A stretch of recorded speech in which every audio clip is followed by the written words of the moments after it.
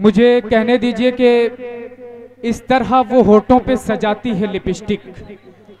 मज़ा लीजिएगा दोस्तों, फिर माहौल में लाने की कोशिश करता हूँ कि इस तरह वो होठों पे सजाती है लिपस्टिक। लगता है लगाती नहीं, खाती है लिपस्टिक। इस तरह वो होठों पे सजाती है लिपस्टिक। लगता है लगाती नहीं, खाती है लिपस्टिक। वो खुद तो अंधेरे में दिखाई नहीं देती। बस दूर से उसकी नज़र आती है लिपस्टिक। और जब भी उसे थोड़ा सा लगाता हूँ गले से, फ़ौरन मेरे कॉलर से मिटाती है लिपस्टिक। ये मुस्कुराहट जो है, अल्लाह ताला की जानिब से, वो हसीन तोहफा है, जो सिर्फ़ अशफुल मखलूक़ात के हिस्से में, यानी इंसानों को मिला है। आइए, इस मुस्कुराहट का खुलकर इस्तेमाल करते हैं, और मुलाकात करते हैं दुनिया मिजाह के हिंदुस्तान गिर शोहरत याफ्ता शायर अली जनाब हलचल टांडवी से। मैं उनसे दरखास्त कर रहा हूँ। एक बार ज़ोर तालियों से इस्तकबाल कीजिए। तशरीफ़ ला रहे हैं जनाब हलचल टांडवी।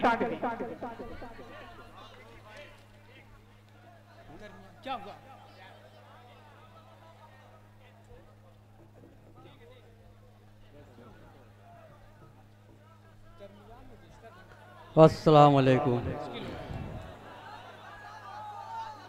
सदर मोहतरम की इजाज़त लेते हुए मैं अपनी बात शुरुआत करता हूँ कि ऐसा बैठे हो जैसे तुम शोक सभा में बैठे हो।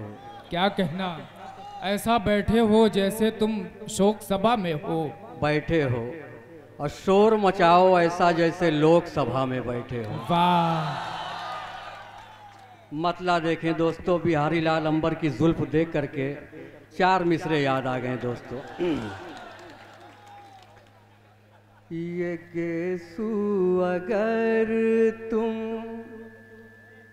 सवारे न होते।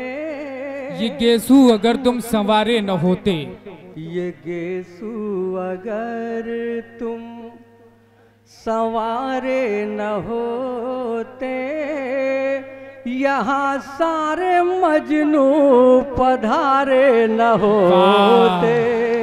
वाह वाह वाह ये गेसु अगर तुम ये गेसु अगर तुम सवारे न होते यहाँ सारे मजनू पधारे न होते। अगर बिल्लो रानी तू पर्दे में होती अगर बिल्लो रानी तू पर्दे में होती। खुदा की कसम फिर इशारे न होते। वाह वाह वाह वाह ये गेसु अगर तुम। चार मिसरे और देखिएगा दोस्तों डॉक्टर जहीर अहमद साहब तशरीफ़ रखते हैं। करते नहीं कभी भी ये सौदा जमीर का रुतबा बुलंद आज भी डॉक्टर जहीर का। बहुत अच्छे वाह जौहर कानपुरी साहब तशरीफ़ रखते हैं। मैं इनके हवाले से चार मिसरे आप तक पहुंचाता हूँ तो हो। कि वो बड़े ही गुमान में रहता। वो बड़े ही गुमान में रहता अपने ऊँचे मकान में रहता। और जब भी पढ़ता नमाज़ मस्जिद में उसका चप्पल ही ध्यान में रहता। अरे वाह। उसका चप्पल ही ध्यान में रहता। दोस्तों चार मिसरे और दे रहा हूँ आपको। बतला देखिए मुद्दतों बाद कहीं जाके कमीना देखा। मुद्दतों बाद कहीं जाके कमीना देखा। मुद्दतों बाद कहीं जाके कमीना देखा। मुद्दतों बाद कहीं जाके कमीना देखा। मार कर भाई का हक उसने मदीना देखा। वाह वाह वाह मार कर भाई का हक उसने मदीना देखा। मुद्दतों बाद कहीं जाके कमीना देखा। मार कर भाई का हुक उसने मदीना देखा। और मैं समझता था बड़े नेक है कल्लन साहेब। क्या कहना क्या कहना? मैं समझता था बड़े नेक है कल्लन साहेब। दंग तो तब हुआ जब इनका करीना देखा। अरे वाह। मुद्दतों बाद कहीं जाके वाह वाह वाह देखा। महफिल में बैसियत मेहमान खसूसी डॉक्टर जहीर आलम साहब यहाँ मौजूद हैं। हम इनके मशहूर हैं कि इन्होंने अपना कीमती वक्त आज के इस मुशायरे के लिए निकाला। आइए समाप्त करते हैं जनाब हलचल टांडवी को। चार मिसरे और दे रहा हूँ दोस्तों आप जी अता करें। कि बाप परेशान बेटा से। क्या कहना? और बाप परेशान बेटा से। बाप परेशान बेटा से और देश परेशान नेता से अरे वाह। देश। परेशान नेता से और इनसे तू उम्मीद न रख। इनसे तू उम्मीद न रख। शुक्रिया अरशद भाई। इनसे तुम उम्मीद न रख। मांग बस अपने मौला से। क्या कहना क्या कहना? मांग बस अपने मौला से। दोस्तों एक नज्म दे रहा हूँ आपको। जी मतला देखिएगा दोस्तों। मैं समाचार हूँ। मैं समाचार हूँ। मैं समाचार हूँ। मैं समाचार हूँ। मैं समाचार हूँ। और झूठ का सच दिखाने पे तैयार हो। मैं समाचार हूँ। मैं बहुत अच्छे, प्यार।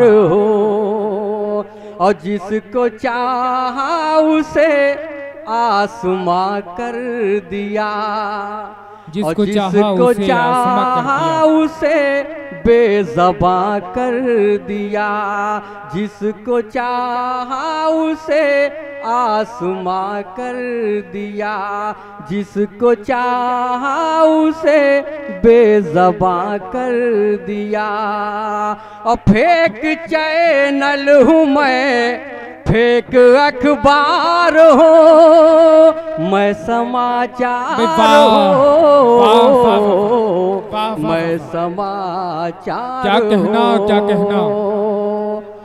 और हमारे वकील साहब बैठे हुए हैं। खालिद साहब बैठे हुए मैं इनके हवाले से ये शेर आप तक ये बंद आप तक पहुंचाता हूँ दोस्तों। इरशाद अली। एक मछली ने तालाब गंदा किया। क्या कहना?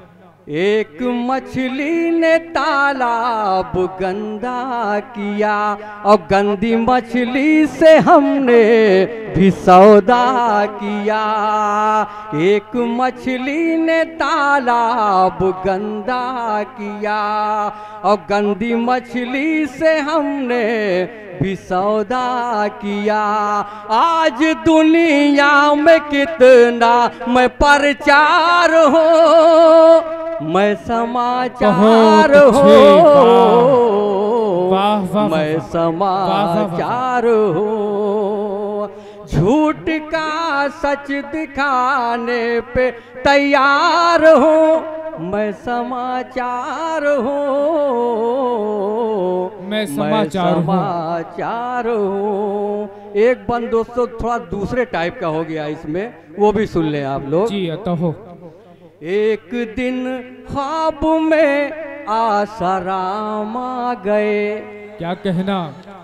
एक दिन ख्वाब में आसाराम आ गए। मुझको राधा समझ कर इशारा किए।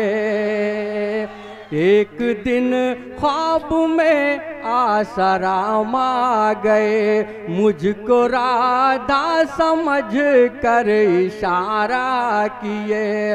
और डर गया इस कदर तब से बीमार हो। बहुत अच्छे। समाचार हो। वाह वाह वाह वाह। मैं समाचार। हो वाह वाह वाह वाह। और मक्ते का शेर देखिएगा दोस्तों। जी अतः हो।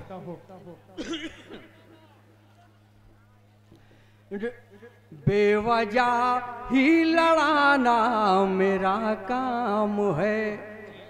बेवजह ही लड़ाना मेरा काम है। क्या कहना? चापलूसी में हलचल मेरा नाम है। वाह। बस इसी बात का मैं गुनागार हूँ मैं समाज बहुत अच्छे वाह। देखिए हलचल साहब लोग कुछ आइए थोड़ी देर थोड़ी कुछ दो दो शेर लोगों की ख्वाहिश है। बस एक मतला और एक शेर और पढ़ दीजिए। हाजरी ग्रामी हमारे ख़ास मेहमानों में आली जनाब सैयद अज़ीज़ अशरफ साहब तशरीफ़ रखते हैं। आली जनाब डॉक्टर ज़हीर अहमद साहब आली जनाब मसीहुज़मा साहब, प्रधान नवागांव आली जनाब फैयाज़ अहमद साहब। हम इन तमाम मेहमानों का तहे दिल से इस्तकबाल और खैरमकदम करते हैं और इनके मशहूर हैं कि इन्होंने अपना कीमती वक्त आज के इस मुशायरे के लिए निकाला। आइए हलचल टांडवी से थोड़ी देर और उनका कुछ कलाम सुनते हैं, उसके बाद मैं किसी अगले शहर तक पहुँचूँगा। आइए हलचल साहब, कुछ और नवाज़ दीजिए। प्रधानी का इलेक्शन दोस्तों बहुत ज़ोर शोर से चल रहा है। मैं उस पे पढ़ने जा रहा हूँ मतलब जी अता करें। कहो तू प्रधान बनी हो का? क्या कहना क्या कहना? कहो तू प्रधान बनी हो का? कहो तू पर धान बनी हो का? कहो तू पर धान बनी हो का? पाई के तू अच्छी शोहरत बेईमान बनी अरे का। वाह वाह वाह वाह कहो तू प्रधान बनी हो का कहो तू प्रधान बनी हो का बहुत बहुत शुक्रिया भाई अव्वल साहब। और बन देखिएगा दोस्तों। मानव की जीत गयो तो करी हो अपनी वाली। मानव की जीत गयो तो करी हो अपनी वाली। सबसे पहले झोली बरियो अपनी हाली हाली। वाह वाह मानव की जीत गयो तो करियो अपनी वाली। सब मानव की जीत गयो तो करियो अपनी वाली। सबसे पहले झोली भरियो, अपनी हाली हाली। अपनी हाली हाली। मानव की जीत गयो तो करियो अपनी वाली।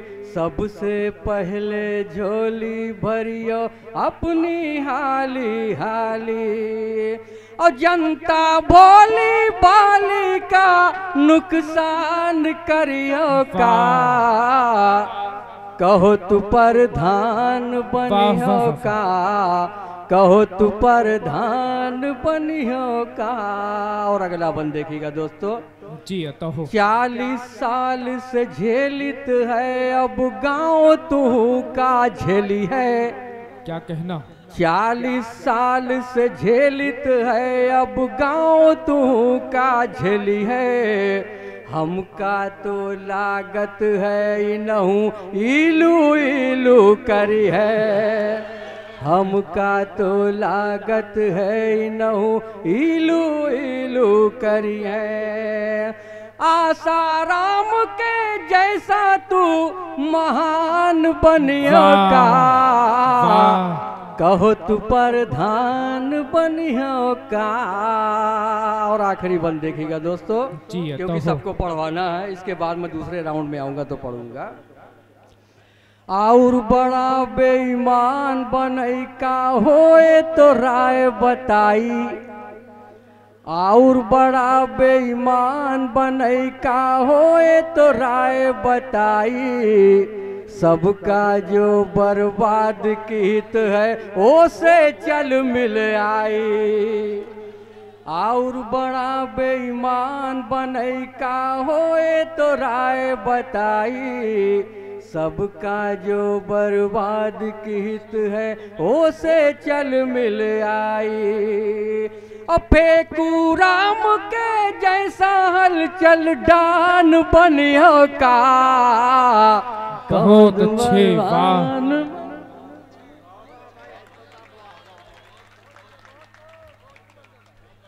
ये थे जनाबे हलचल टांडवी। जनाब हलचल टाडवे ने आपको मुसलसल कई कलाम से नवाजा, आप लोग महजूज हुए। जब हलचल साहब अपना कलाम पेश कर रहे थे तो मुझे सागर आजमी साहब के दो मिसरे याद आ रहे थे। एक शेर मुझे उनका याद आ रहा था कि कुछ लोग ज़माने में ऐसे भी तो होते हैं, महफिल में जो हँसते हैं, तन्हाई में रोते हैं। सागर जनाब हलचल साहब की मजाया शायरी का कमाल ये था कि वो संजीदा पहलू से तंज निकाल रहे थे। ये सबसे बड़ा कमाल था, शायद इसीलिए कहा जाता है कि तंज मज़ा का जो शायर होता है, वो अपने गमों के ताने और आंसुओं के बाने से कहकहों का लिबास तैयार करता है। बड़ी कामयाबी के साथ उन्होंने अपना सफ़र मुकम्मल किया। मैं इस कामयाबी के लिए जनाब हलचल टाडवी साहब को बहुत बहुत मुबारकबाद पेश कर रहा हूँ।